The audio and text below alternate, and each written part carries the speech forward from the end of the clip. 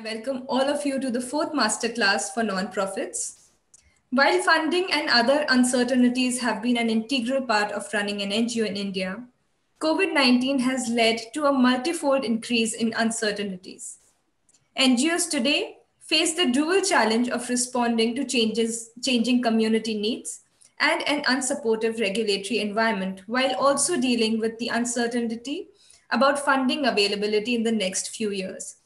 This session, facilitated by experts from the Bridgespan, uh, Group, intends to provide a framework for NGOs for strategic planning in times of high uncertainty. With this, I would like to invite Mr. Shashank Rastogi, principal at the Bridgespan Group. Shashank comes with more than 15 years of experience in impact investing, social entrepreneurship, and rural markets. At Bridgespan, he has worked on projects in agriculture uh, technology, rural primary health in tribal areas, and scenario planning for NGOs.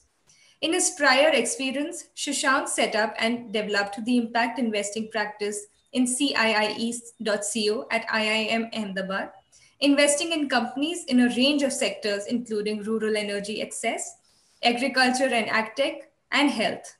He was also the co-founder and chief operating officer of Sarvajal. Shashank holds a postgraduate diploma in management from IIM Ahmedabad and a BTech in electronics and communications from IIT Roorkee. We also have with us Mr. Akshay Gambhir, consultant at the Bridgespan Group. Akshay has more than six years of experience in consulting, banking, and social impact. At Bridgespan, he has worked on philanthropic collaborations in India, impact assessment, development of healthcare CSR strategy, capacity of nonprofits and scenario planning. And before Bridgespan, Akshay helped build market linkage models for rural livelihood initiatives and led scale up of fisheries based livelihood interventions at Tata Trusts. Prior to entering social impact, he worked at McKinsey Knowledge Center, and Akshay also hosts, uh, holds a postgraduate diploma in management from IIM Lucknow and a bachelor's degree in finance from CBS Delhi University. I welcome both of you. Over to you, Shashank. Thanks, Pooja, and thank you everyone for joining on in this session as Pooja mentioned, uh, uncertainty and the social sector go hand in hand. Even when the economy is doing well and everything is fine for the for-profit sector, given our dependence on external funders, the changing community needs in general as well, uh, and, and the fact that most of the funders in India do not take a long-term outlook, NGOs do end up facing a, a higher degree of uncertainty, even in regular times. And uh, hence, a lot of you may have that question on what's new. It's something that we have faced earlier, whether it was in 2009 or whether it's uh, other crises that we have faced. So why worry about it? And, and also, I want, want to acknowledge that there's a lot more wisdom in the room beyond uh, the two of us. I think a lot of people who are sitting in the audience have significantly more experience, not just in the NGO sector, but also across sectors in banking, in consulting, etc. So we would try to keep it as interactive as possible. And uh, our objective on this is to uh, provide you, as, as Pooja said, a framework or a structured approach of how we can manage these uncertainties we may not be able to give all the answers because the answers would be unique for each NGO's context. And with that, uh, I'll, I'll, move forward and hand over to Akshay to talk about Bridgespan. Great, thanks, thanks Shashank. Um, so Bridgespan, we are a global non-profit organization that uh, works with key actors in the social impact space to break cycles of poverty and improve quality of life for those in need we started working in India five years ago, but uh, we were founded in, in Boston, US in the year 2000, incubated by Bain and Company. And we collaborate uh, with various actors in the social impact space in four key ways. Um, through our nonprofit strategy consulting work, we help uh, nonprofit clients become more effective and scale their impact uh, while also working with philanthropic organizations to help them improve their philanthropic efforts uh, or even grantee performance. Um, in parallel, we also publish knowledge on the social sector to help shape thinking uh, in the sector on the most relevant issues. Just as an example, we uh, earlier this year we uh, published some insights on uh, community integrated uh, models to tackle COVID. Uh, and we're also working on developing a non-profit development program that we might launch next year, which would would be a blended model leveraging group coaching to build capacity of, of uh, nonprofits in India. Um, next slide, please.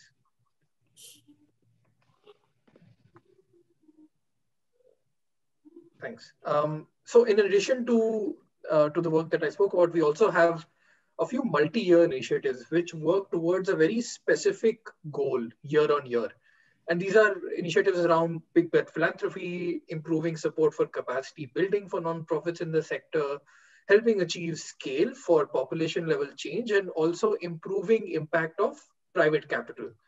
And throughout all of this work that we do, we also try to bring in a focus on uh, the equity perspective, ensuring that the needs of the most marginalized communities do not go unaddressed in the work that we do and the, and, and the work that our clients do while also focusing on leadership development as a means to create lasting capability improvement in organizations.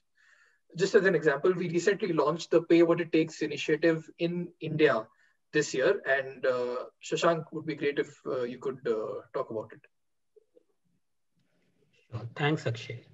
So, Pay What It Takes is a movement that we have been working on globally for almost 11 years now it started with the hypothesis that one of the reasons why nonprofits struggle is due to certain uh, restrictions that the funders impose, some mindset of the funders and some practices of the funders. And one specific practice that we started to focus on was the funders focus on indirect cost coverage and looking at that as an efficiency measure. If you're mm-hmm. not having high overheads, then you are more efficient than someone who has higher overhead. This was very counterintuitive for us. A lot of us come from, from for-profit sector. And we realized that this did not make sense. The funders putting artificial limits of 10%, 15% on indirect costs wasn't making sense. Every nonprofit had a different operating archetype, operating model. And these indirect costs were not wastages. These were needed for the organizations to sustain and to be able to sustain the projects that they used to undertake to deliver impact. And, and, and that's what. Sorry, uh, if I may request all the participants to mute themselves uh, and as in when they have questions, eh, they can unmute. So, so basically the pay what it takes program in India is again a multi-year initiative. We are hoping to bring out evidence of how these restrictive practices create an environment for nonprofits where they cannot grow and they're not able to deliver the impact to their true potential and, and how certain practices on the funder side could actually lead to suboptimal achievement of impact and hence not actually uh, support the long-term uh, targets that the investors may be having, the funders may be having.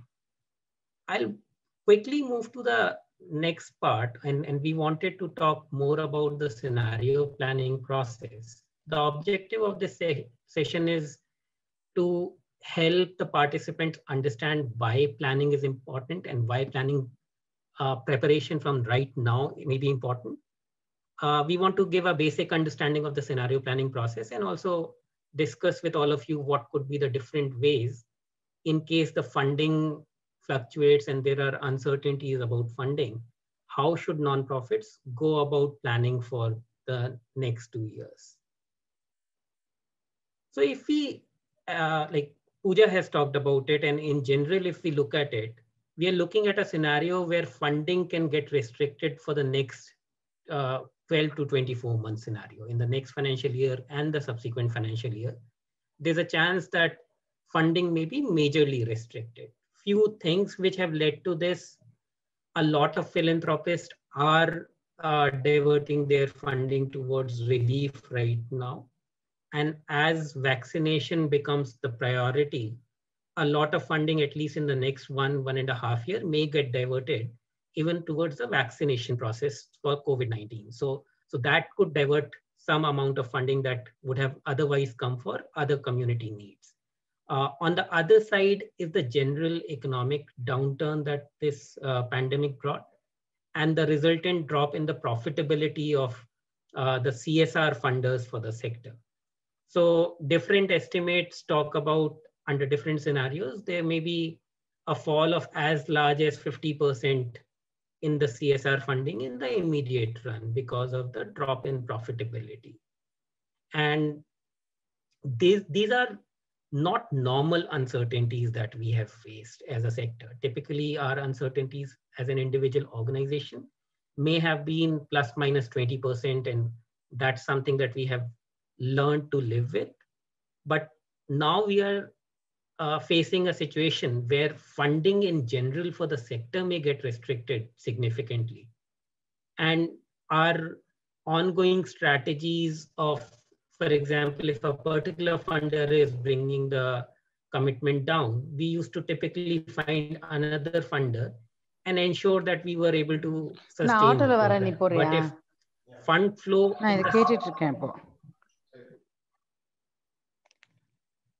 Sorry. So if, if the sector itself is going to get reduced amount of funding, the fund flow towards the sector is getting reduced, then those strategies of finding new funders may not work to the extent that they used to work in the normal scenario.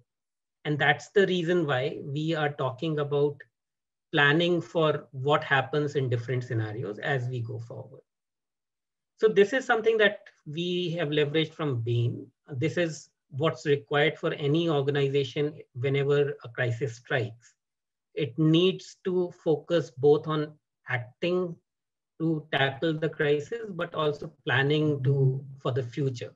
And as the crisis starts to subside, the focus needs to move more towards planning for the future than uh, acting to uh, tackle the crisis. And that's that's where we believe we are. That uh, COVID-19 lockdown, the, the April to July period or April to August period was the severest crisis because uh, different policies, etc., created not just a health crisis, but also a humanitarian crisis for a lot of communities.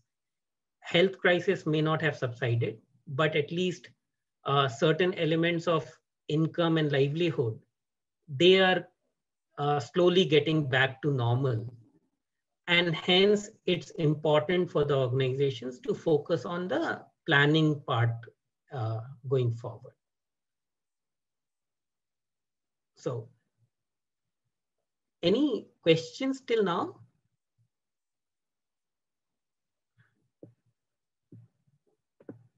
Okay. Uh, so I quickly move to what the scenario planning process that we suggest looks like.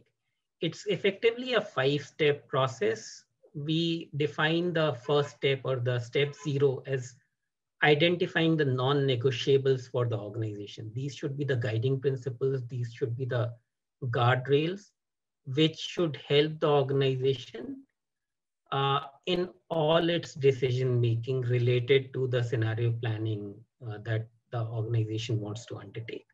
The second element is to identify the key drivers and the risks. So which are the most important programs, what programs are facing the highest level of risk, and what are the factors that may be causing those risks.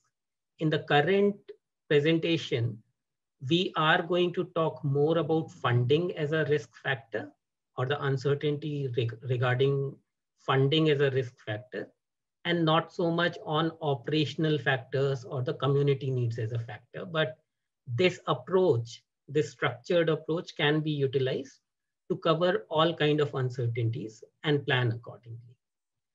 The second step is to model different scenarios, collecting information, understanding what can pan out in future. If we are talking about funding, uh, whether my funding as an NGO get reduced by 30%, 10%, 5%, or whether it will increase it's important to understand where we stand and what different pathways can emerge in future and being able to then look at what resources will we have and what kind of cost considerations we need to take care of.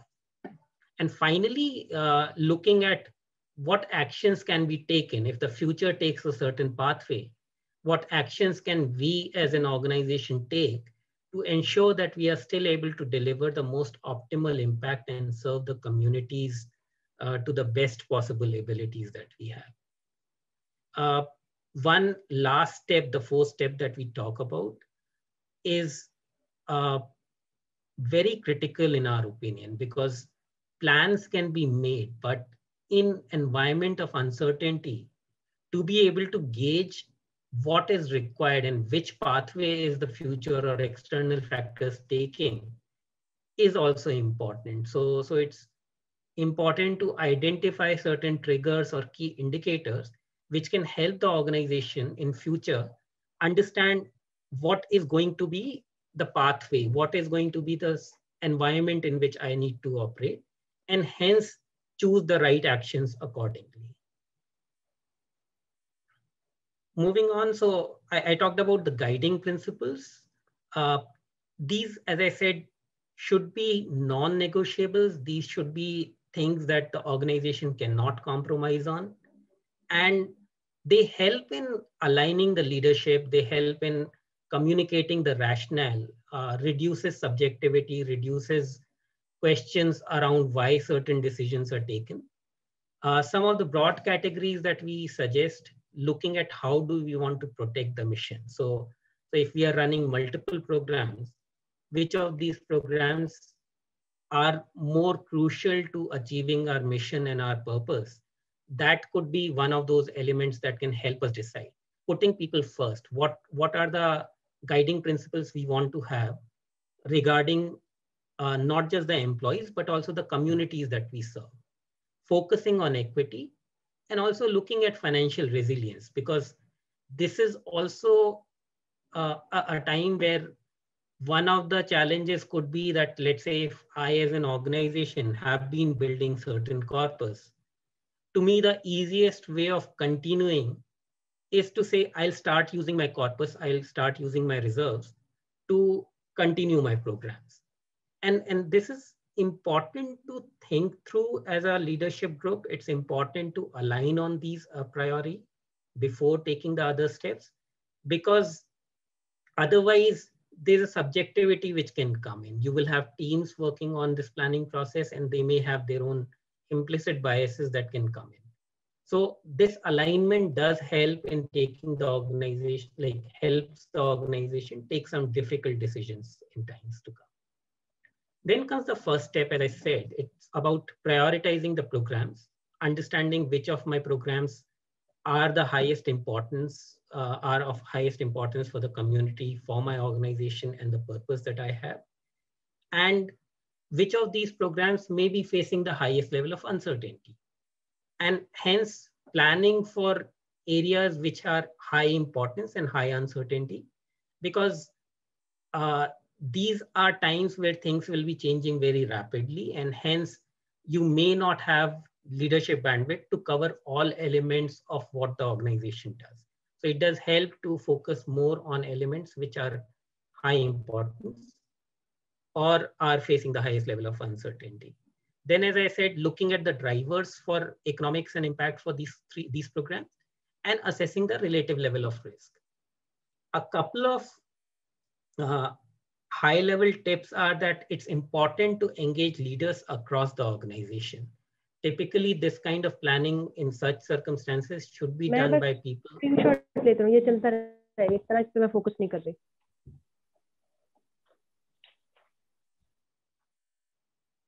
sorry.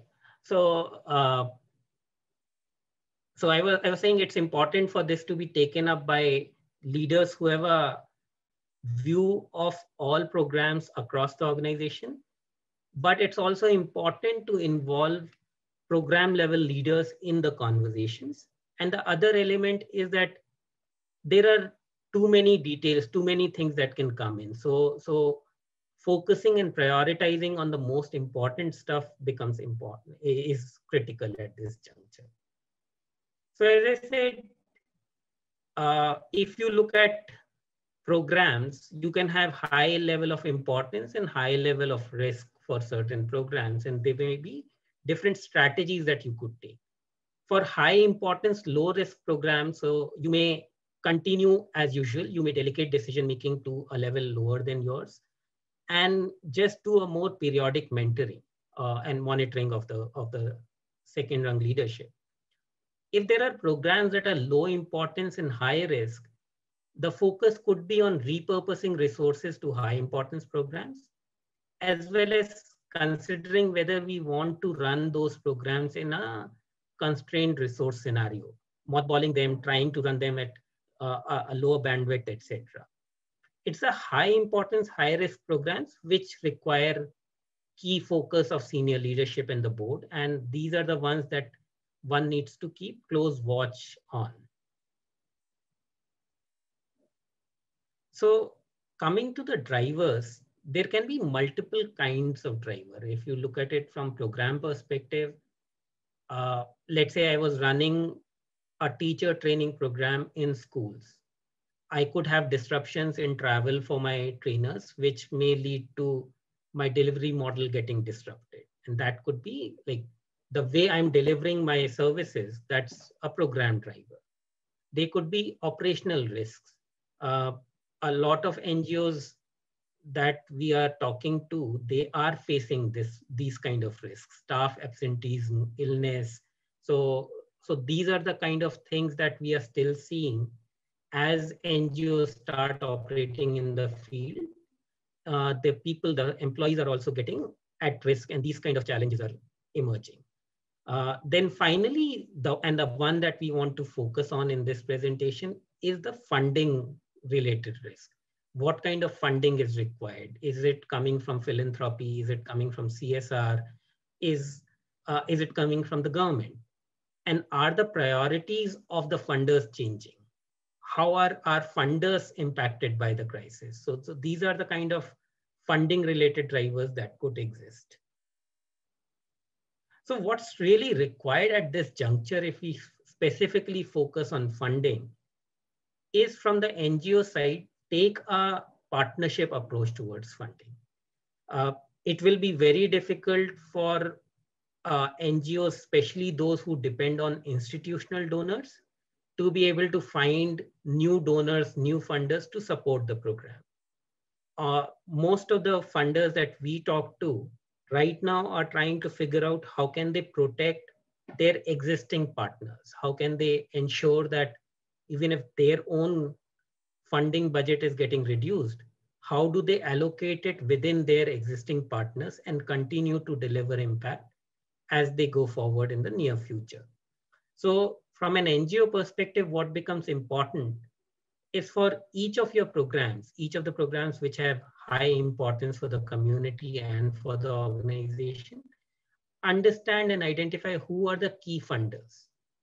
Engage with them in a dialogue, understand their context, and be transparent about yours. Uh, so, for example, if I'm an NGO, which, uh, which is running multiple programs targeting the same community, and if I have a common funder, I may want to have a conversation about what does community find more useful and what's more important for the community right now and see if the funder is willing to do a trade-off between funding different programs and and this is this can become important if and on, on an overall basis your funding is getting restricted. So then estimating what's the funding available from your key funders and the degree of certainty for funding. And finally as an add-on you can also focus on identifying alternate sources of funding. If you look at the last one year or or even the projections for the next couple of years the possible areas from where funding can, can increase is retail funding. Bilateral agencies could increase their overall allocation uh, for a country. And the government, so if you have convergence in your programs, that is the other source of funding where the funding could be increasing. So see if there are alternate ways in which you can gather funding. At this juncture, Pooja, if we could uh, like launch a survey to understand how we are uh, among the participants. Sure, Shashank. Uh, I'm I'm just going to launch a quick poll, and I would request all the participants to kindly uh, record their uh, responses on the same. Thanks.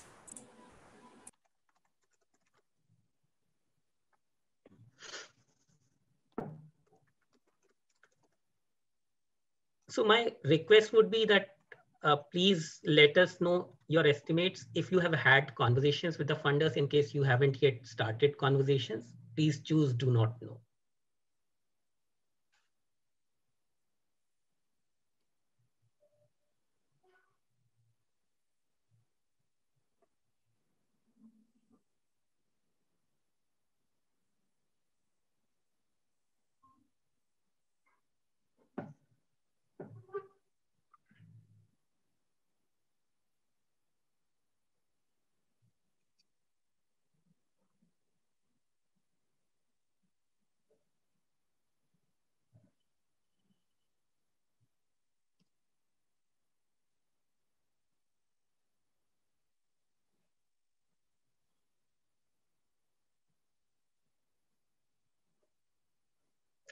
So we'll probably wait for another 15 seconds before ending the poll.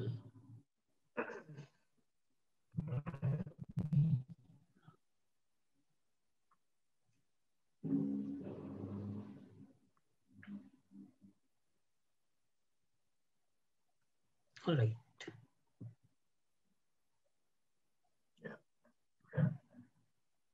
So looks like uh, for a lot of the participants reduction is likely to be more than 20, uh, but uh, the second most common is uh, 0 to 20% funding reduction. Um, and this is largely in line with uh, what we've heard from um, the sector at large in terms of what the funding outlook might be. There are a few who have expressed uh, that they don't know how the funding might change. And to them, we would recommend that it might be a good uh, time to engage with funders and understand their context to get better clarity on how their funding commitment might change. Um, great. So uh, moving on to uh, the rest of the process. Uh, uh Akshay, I was wondering whether uh, we should take some of these questions now or uh, like okay. yeah i think we so, can take them yeah. we can take a couple now. Yeah. So there was this question of how do we get everyone on board after priorities are aligned and realigned by board? And I, I think there is no magic bullet for it except conversations. And this is where uh, the guiding principles come into play. If if you have aligned basically if you have aligned on the decision making criteria and those those are the guiding principles. Then as you want to communicate decisions it becomes easier for you. You have first aligned on the guiding principles. You have aligned that for the organization a b and c are the most important things to protect. And then when you evaluate different options you are able to objectively say this is what we assessed and this is the reason why we are taking certain decisions. Uh, the other question that Sonia had was, how does this apply for nonprofits that have just started or are not more than a year or two in the industry?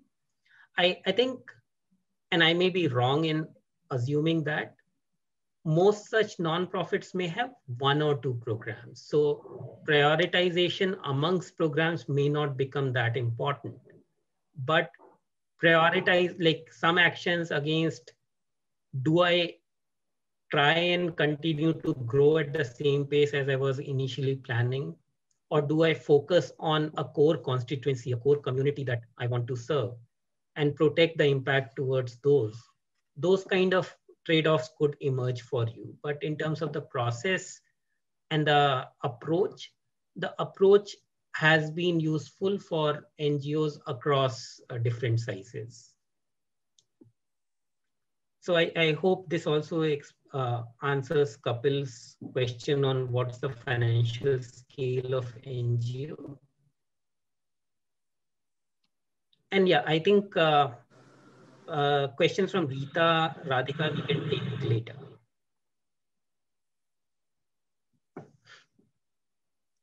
Great. Sorry, Akshay.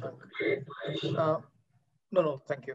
So now I think we, now that we have uh, looked at some of the program prioritization and the drivers, we can start thinking about what scenarios, how should we approach the formulation of scenarios and then inform our actions, which would be uh, the rest of the process. So uh, now that we know uh, or we have identified certain programs uh, and their drivers, the next step is in the process to develop possible scenarios and understand how they could affect the organization.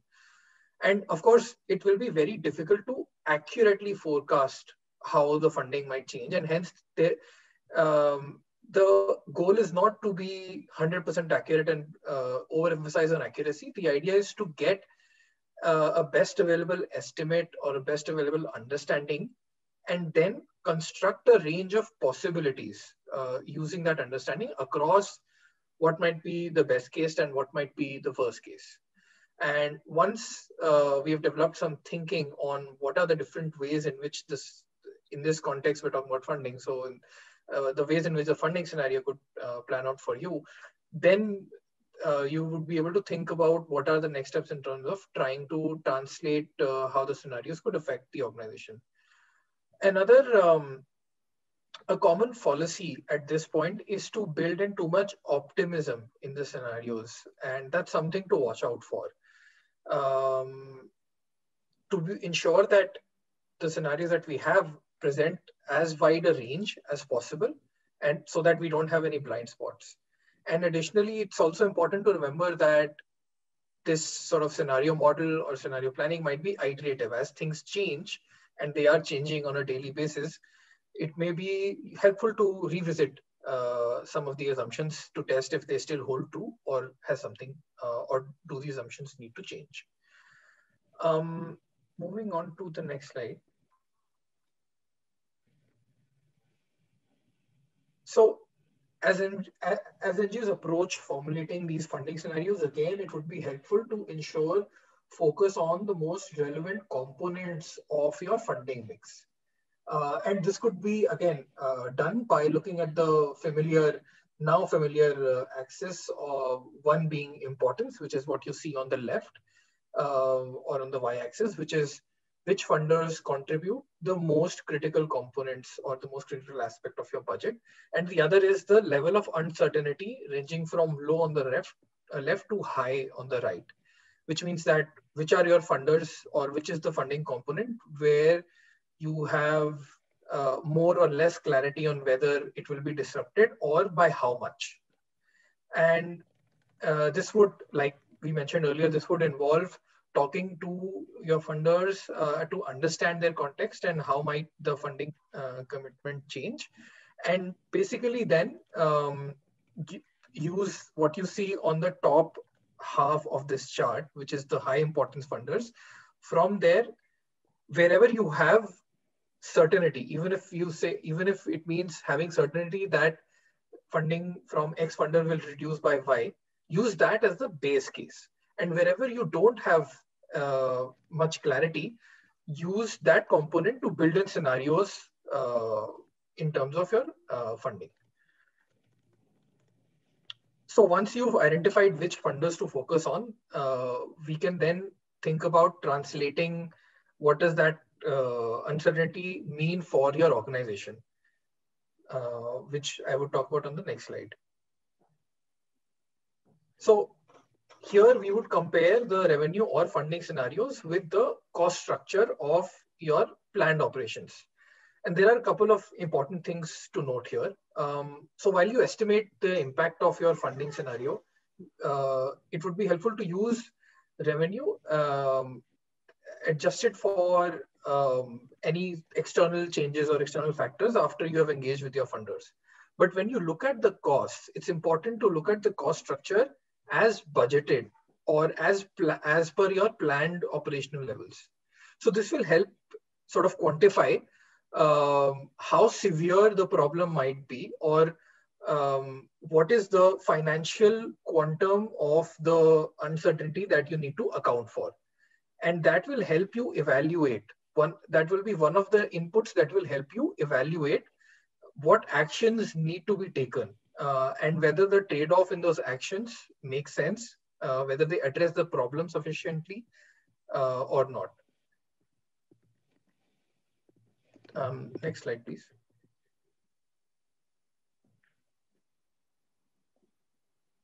and so once the um, now that we've estimated the sort of deficit or surplus under each scenario, the next step is to now figure out what is it that we need to do. Um, this can be done first by ideating on what all options are there or what kind of actions can be taken. So this would be like a, a, a general list of uh, ideas or, or potential uh, actions to take. Any ideas on what all this NGO can do if they're uh, if they have a funding constraint by two crores?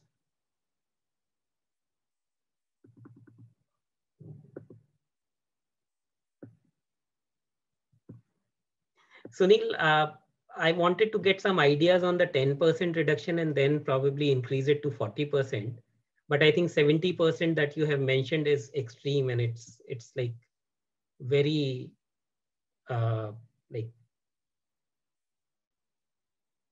difficult situation that you are. Yeah. So yeah, Sunil has an answer in terms of like reduce other cost and reduce 20% salary. So across the board, you could reduce the salary by 20%. And again, different organizations can take different kind of approaches. Uh, so for example, NGO may say that anyone who's getting more than 15,000 rupees a month we'll reduce the salaries only for those. But we'll ensure that people who are getting a basic level of salary, they do not have an impact. Or they may have a graded reduction in salary. The leadership team may take a 30% cut while uh, some like middle management may take 20% and so on. Yeah. So, uh, yeah, makes sense. So yeah, and, and then on other costs as well. So for example, external consultant, if there's an MLE program, then having having a conversation with the funders who require that kind of reporting on can you reduce the frequency of reporting if you are conducting certain MLE exercises, the monitoring and evaluation exercises on a six monthly basis, can you do it on a yearly basis, at least for the interim one or two years? Radhika, I agree with your point on salary reduction can only be for a limited time.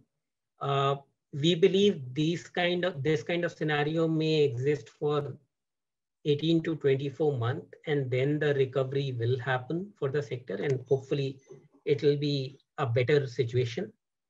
So, so having the transparency on where we are and unfortunately we like if you compare us to the for-profit sector, they had their salary reductions and other uh, drastic measures within three months of COVID situation of like salaries being reduced or bonuses. Now I'm not trying to compare the salaries because in a way, we as a sector have already been operating at a bare basic level. So our salaries are not at the same level as for profit. But being transparent about the organization situation and sharing it with the like like making it a common goal to sustain the impact and sustain the organization can help on that. Uh, Rita had this point on this case study on possible to move some work to virtual. And I think uh, that's again a great point. What we have seen is organizations have actually invested in technology in this duration, which has allowed them to reduce their operational expenses. One, one really positive aspect of a crisis is that people are more open to change. in a crisis situation. So a lot of NGOs who used to earlier think that training, virtual trainings will not work, they have tried it and they have been able to leverage those trainings to reduce the cost that they were incurring on travel, etc.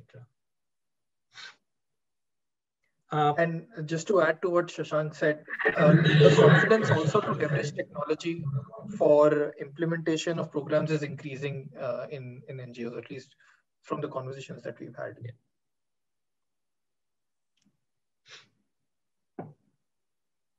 yeah.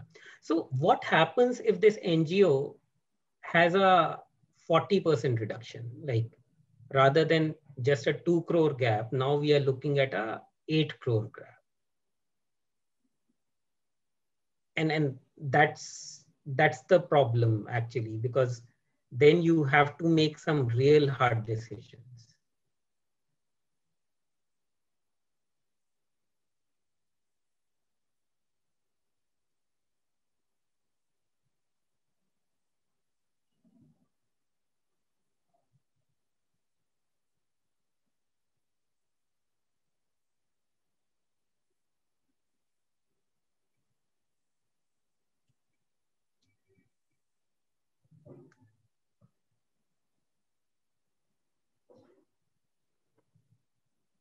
So let me probe all of you. So this NGO, and this is a hypothetical case, right now it's having a two crore cost of field travel. Uh, the question, and, and rightly pointed out, Rita, that it, it is tough to cut costs to keep the scope intact. And that's where the conversations with funders comes into play the conversation in terms of saying uh, this is this may be a situation where we need to ensure that our communities do not fall back to the levels that they were a couple of years back. We need to first focus on sustaining whatever impact we have been able to achieve and then look at future impact as well. So our first priority is to ensure that let's say if I was running a livelihood program, then people are not falling back into poverty that they were coming out of. And those are the tougher conversations to have because uh, every funder wants to showcase what new has been done, what more has been done. And to, to be able to tell them that this may be a situation where I cannot make progress. I need to keep running to stay where I am as a community, as an individual, as an organization. That's a tough conversation that you may have to pick up if your funding is getting reduced by 40%. Because your funders will need to understand that this is an emergency situation. This is not life as usual. And that can only happen when there's a greater level of transparency that comes into your conversations. And honestly, there was one point on whether funders are engaging and uh, or whether most of the communication is from the NGO side. And I think that's where it may become important for you to identify who are the kind of funders or who amongst your current funders are willing to engage at that level. Uh, similar conversations are being done with the funders on what should they be doing by different stakeholders, different intermediaries like us. Uh, so, so I, I think what's required right now is to accept that we as a sector are facing an extraordinary crisis and we need to come together to uh, just survive right now. So for example, field travel, if let's say my people, my field people were traveling to a community once in two weeks, can I reduce that frequency from once, once in two weeks to once in three weeks and reduce field travel? Can I make certain changes in my program elements which allows me to reduce cost? If I was giving certain incentives to program participants, is there a possibility engaging with the community to see if they are willing to pay 10% of that incentive that I was creating for them. So, so these are tougher actions that we may have to take if we are facing funding constraints by possibly more than 20, 25%.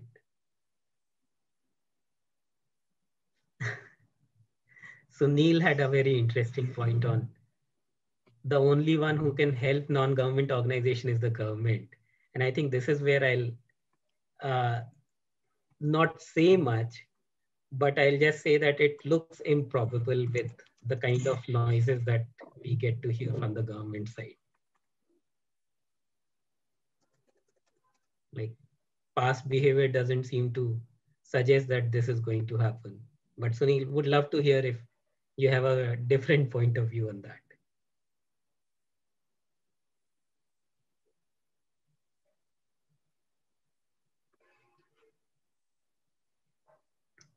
So I think uh, any questions uh, that we have not answered, you can unmute yourself and also ask those questions.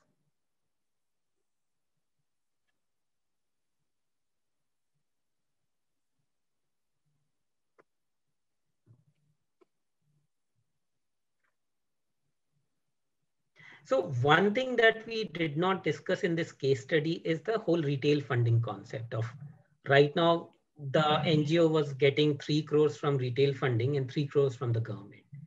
So seeing if we can increase the convergence, can we align our programs with certain government schemes which may have funds? That's one way of uh, reducing this gap in funding.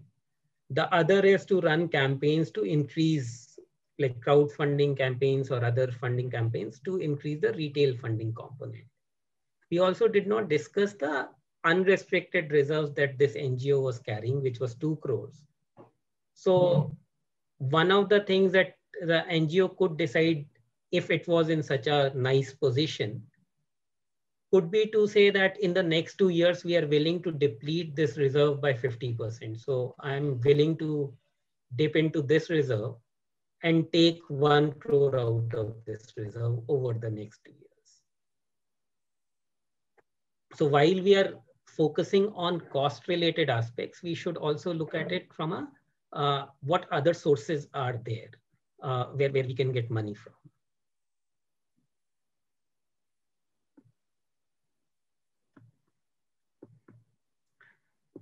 So quickly to summarize, this is a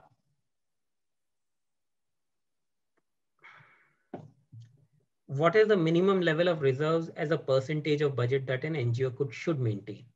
Uh, I think the Income Tax Act or the finance rules allow only 15% of your uh, annual operation to go into uh, your reserve creation. So that's how you can build it. Uh, in terms of accumulated reserves, we believe if you have less than three months of reserves, unrestricted reserves, which can cover the total cost of NGOs, then it's a, a high risk situation for the NGO. Ideal would be if you had reserves above nine to 12 months, like if, if you were able to create that, but I know that in the current environment, in the, in the current discourse, carrying that level of reserves. So if you are a NGO which has an annual budget of 20 crore, annual expenditure of 20 crore, carrying 20 crores of reserves is next to impossible in the current discourse. So, so aspiring to build that kind of reserves is a good target, having one year's reserves available to you. The other way sorry, Natasha had a point. Yeah. So she, she's actually giving an example of how they have been able to build convergence with government program and that can help.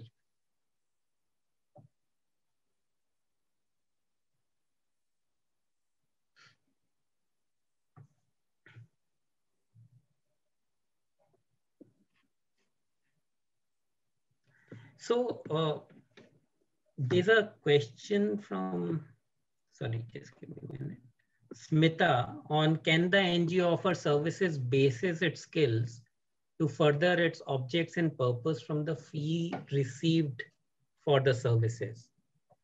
Uh, I'm not a legal expert, but there's a, I, I think the laws have a limit on what percentage of revenue can uh, be generated from for-profit activities. But as, as I said, I, I think the right person to ask this question would be someone who understands the laws better.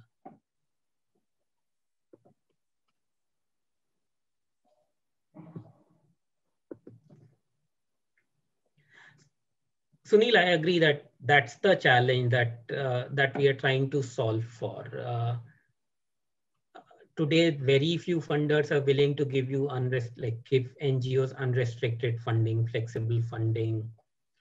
They're putting restrictions on how much can go into indirect cost.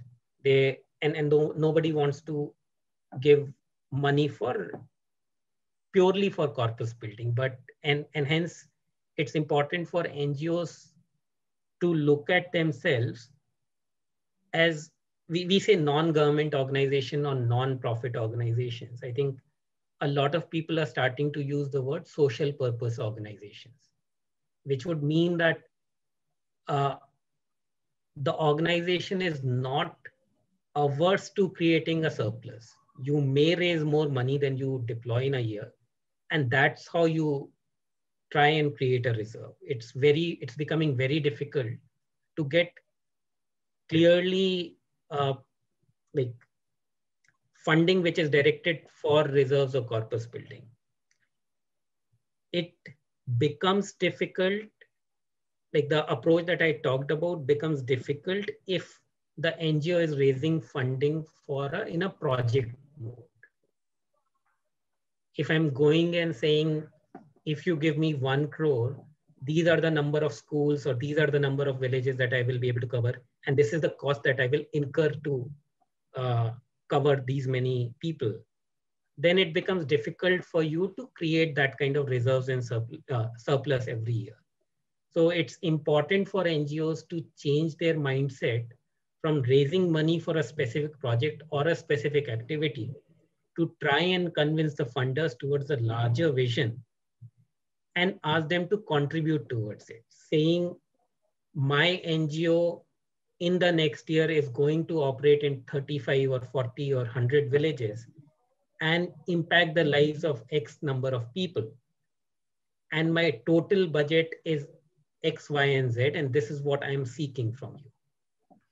So changing the narrative becomes important if we need to create surplus in our regular operations.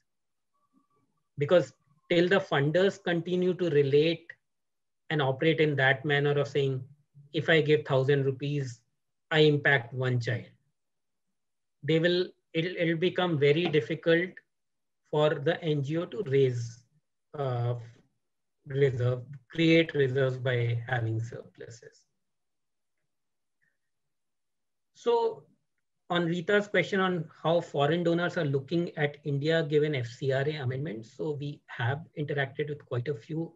Right now, everyone is really worried about it. More so about the re-granting aspect of the FCRA amendment that's happening. Uh, not every organization, not every community-based organization has FCRA registration. And even if they get it, the transaction cost for the funder becomes high because now suddenly they may have to interact with a larger number of partner organizations than what they were doing earlier. So, so there's some trepidation about it. Uh,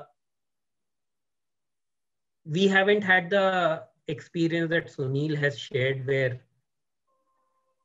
two of the large donors that Sunil had pulling out were foreign MNCs. So, so the donors that we have talked to are typically foundations which have been in India for decades and they have been uh, working in this field. So they're not looking at it from the perspective of this will lead to reduction in their commitment to India. they're right now trying to figure out what are the ways in which they can continue to have the same level of commitment in terms of funding without disproportionately increasing the transaction cost that they have. Yeah, I, I hear you, what, hear what you're saying, Sunil.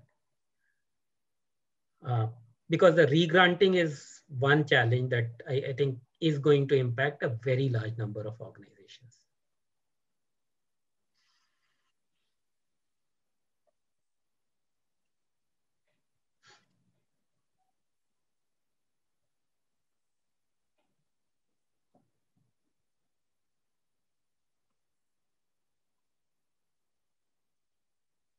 So uh, here's this point on Gangama's point of they've held off on decision until they get clarity on the FCRA amendments. And I think this is an interesting thing because it right now it reads like a zero and one situation.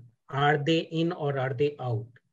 But if you have a point of view on how FCRA amendments are playing out, and you say, okay, if this happens, will your funding get reduced by 20%, 30%, or will you be will you not be able to support me at all, my organization at all? That will get you greater clarity. So if you were to go with them to them of saying, okay, let's discuss what's happening on the FCRA. What is it that you are seeing? What can pan out? And hence, how does it impact your own funding? Hopefully they informally at least they may be able to tell you some more than a zero or one situation.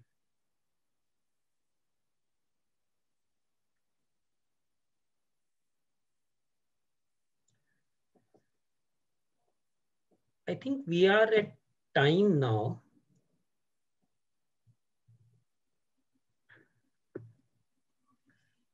So Gangama, to your point of the admin expenses, I think that is there. And in fact, 50% uh, to 20% drop is a challenge, but uh, if, if everyone was allocating, if every funder was taking a fair share of the admin expenses, then I, I'm not sure how many of the NGOs would face that as a challenge. It will still remain a restrictive issue, but it's no, it, it's not a situation where suddenly the complete funding is getting dried up. There is, in the current scenario, what we are seeing is NGOs had to disproportionately allocate their admin costs to some FCRA funders because some CSR organizations were putting a limit of 5% on admin expense or uh, domestic philanthropic foundations were putting lower limits.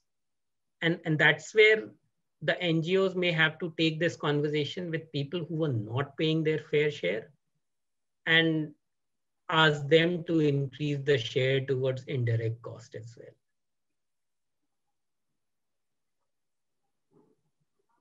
All right, I think we'll, we'll stop here. And Pooja, back to you.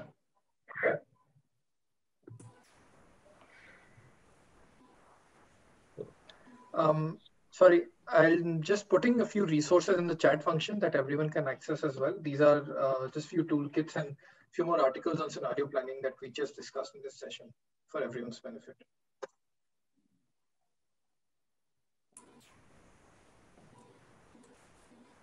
Thank you so much, Shashank and Akshay, for facilitating this very interesting and hands-on masterclass.